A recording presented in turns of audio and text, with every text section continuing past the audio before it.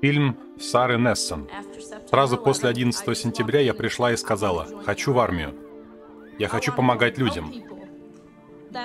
Это все, чего я хочу. Я понятия не имела, во что ввязываюсь.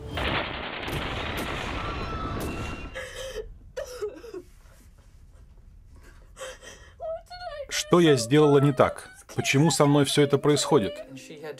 Ей пришлось заново перепроживать многое, о чем она не думала с момента возвращения. Они взяли американскую девушку-болельщицу и сделали так, что ей очень сложно жить в обществе. Практически раздавили ее. Да, я пыталась убить себя, хотела утонуть в ванной. Если бы мы сейчас были в Ираке, я бы и на вас навела оружие. Мне бы очень хотелось попасть обратно в Ирак и сказать тем семьям, на которые я наводила пистолет, что я сожалею. Я хотела, чтобы это представляло мой процесс исцеления, деконструкцию этого мачо-имиджа, который у меня был о себе, разрушение всех моих защитных стен. Я потеряла часть своей человечности — и только начинаю обретать ее заново. Девушка с плаката.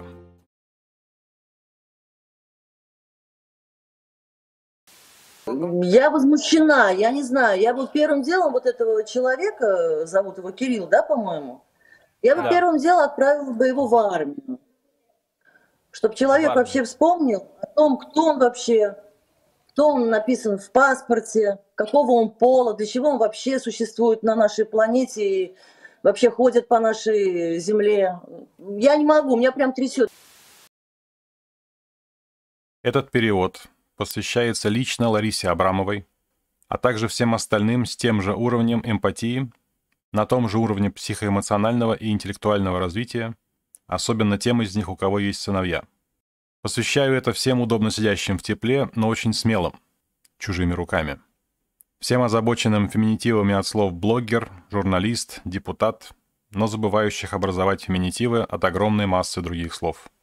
Всем феминисткам и поклонницам фемпанка в виде всяких муланов и вандервуманов.